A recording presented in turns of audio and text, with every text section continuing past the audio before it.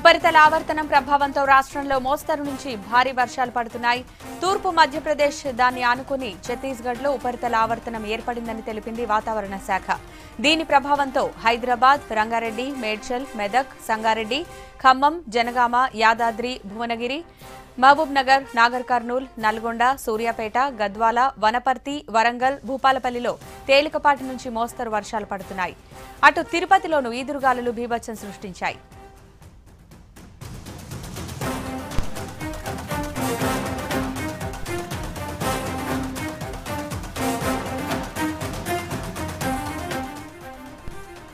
హైదరాబాద్ నగరంలో మధ్యాహ్నం వరకు ఎండ దంచి కొట్టిన సాయంత్రం వాతావరణం ఒక్కసారిగా మేఘావృతమై వర్షం పడుతోంది. Begumpet Secunderabad Ameerpet Banjara Hills Jubilee Hills Musheerabad Bholakpur Kavadiguda lower tank bund secretariat ప్రాంతాల్లో వర్షం కురుస్తోంది. ఇబ్రహీంపట్నం మంచాలలో ఈదురుగాలులు వడగండ్లతో వర్షం పడుతోంది. వడగండ్ల వానతో వరి కూరగాయల పంటలకు నష్టం వాటిల్లింది.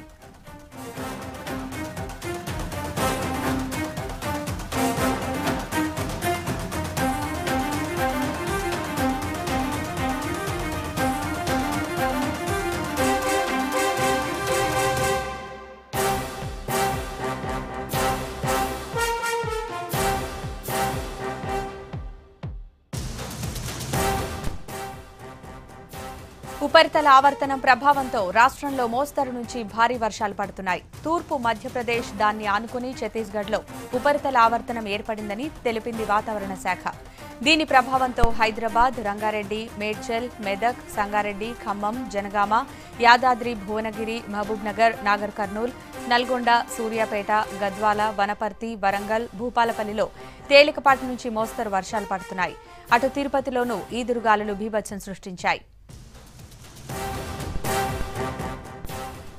ఇక మరిన్ని డీటెయిల్స్ వెదర్ ఆఫీసర్ రాజారావు గారిని అడిగి తెలుసుకుందాం. రాజారావు గారు ఈ టైంలో వర్షాలు పడడానికి కారణం ఏంటి ఎన్ని రోజులు ఈ పరిస్థితి ఉండొచ్చు? మనకి అంటే సాధారణంగా మనకి వేసవ కాలంలో మధ్యాహ్నం మనకి ఈ ఈ సన్ ఎనర్జీ అనేది ఎక్కువగా వస్తుంది. దానివల్ల ఉష్ణోగ్రతలు బాగా ఎక్కువగా పెరుగుతుంటాయి. అదే సమయంలో మనకి ఇప్పుడు ప్రస్తుతం ఏంటంటే ఒక ఉపరితలంలో ద్రోణి అనేది ఒకటి కొనసాగుతుంది. ఈ ఉపరితలంలో ద్రోణి అనేది దక్షిణ తమిళనాడు నుంచి ఇటు విదర్భ వరకు ఈ తెలంగాణ రాయలసీమ మీదుగా ఒక ద్రోణి అనేది మనకి ఈ జీరో పాయింట్ తొమ్మిది కిలోమీటర్ల ఎత్తు వరకు కూడా ఉపరితల ద్రోణి ఏర్పడింది.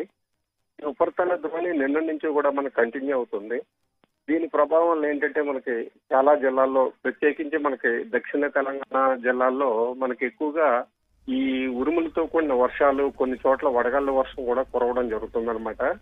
ఈ ఒక మోస్తరు వర్షాలు కూడా ప్రస్తుతం కురుస్తున్నాయి. ఇప్పుడు మనకి చూస్తే ఈ సిటీలో చూస్తే సిటీలో మనకి ఎల్బీ నగర్ తర్వాత ఖైరతాబాద్ సికింద్రాబాద్ అదే విధంగా ఉప్పల్ ఇప్పుడు ఈ ప్రాంతాలు ఏవైతే మేడ్చల్ ఈ ప్రాంతాలు ఏవైతేనో ఈ ప్రాంతాల్లో మనకి ఒక మోస్తరు వర్షాలతో ఈ ఉరుములతో కూడిన వర్షాలు కురవడం జరుగుతుంది ఇది మనకి మరి ఒక రెండు మూడు రోజుల పాటు మనకు కొనసాగే అవకాశం ఉంటుంది.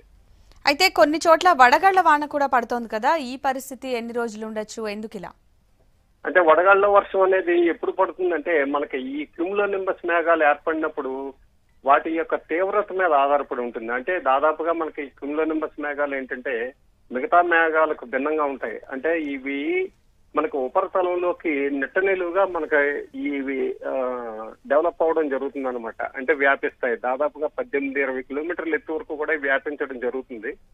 అది ఎప్పుడైతే మనకి ఆ మేఘాలు ఈ తీవ్రంగా ఉన్న మేఘాలు ఎప్పుడైతే ఈ జీరో డిగ్రీస్ అని చెప్తాం మనం ఆ జీరో డిగ్రీస్ కన్నా ఇంకా పైకి ఎత్తుగా ఎప్పుడైతే ఏర్పడుతుంటాయో అక్కడ ఆ మేఘాల్లో ఉన్న ఈ వాటర్ డ్రాప్లెట్స్ అన్ని ఏంటంటే ఫ్రీజ్ అవుతాయి అన్నమాట అంటే గడ్డగట్టి అది మనకి వడగల వర్షం కింద కురవడం జరుగుతుంది. ఇప్పుడు ప్రస్తుతం ఏంటంటే మనకి నిన్న మనం చూస్తే ఇటు నాగర్ కర్నూలు కానీ రంగారెడ్డి జిల్లా అదే విధంగా మహబూబ్ నగర్ ఇప్పుడు ఈ కొన్ని ప్రా నల్గొండ ఈ ప్రాంతాలు ఈ జిల్లాల్లో ఏంటంటే మనకి నిన్న మొన్న కూడా ఈ వడగళ్ళ వర్షం అనేది కురవడం జరుగుతుంది. మిగతా జిల్లాల్లో కూడా మనకి ఈ ఊళ్ళతో కూడిన వర్షాలు ఒక మోస్తరు వర్షాలు కురవడం అనేది జరుగుతుంది అనమాట రాజారావు గారు ఇప్పుడు ఒక మోస్తరు వర్షాలు ఏ ఏ ప్రాంతాల్లో ఎక్కువగా ఉన్నాయి? అలాగే ఈ వడగళ్ళ వాన అనేది ఏ ప్రాంతాల్లో ఎక్కువగా ఉంది?